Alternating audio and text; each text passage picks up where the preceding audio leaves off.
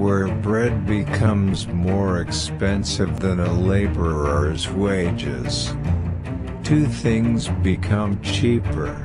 A woman's honor and a man's pride.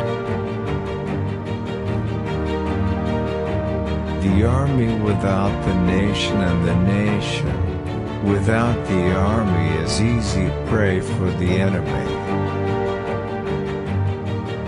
The traitor must be killed before the enemy. A spy can defeat an entire army of enemies. And a traitor can humiliate his entire nation with defeat. No one can defeat a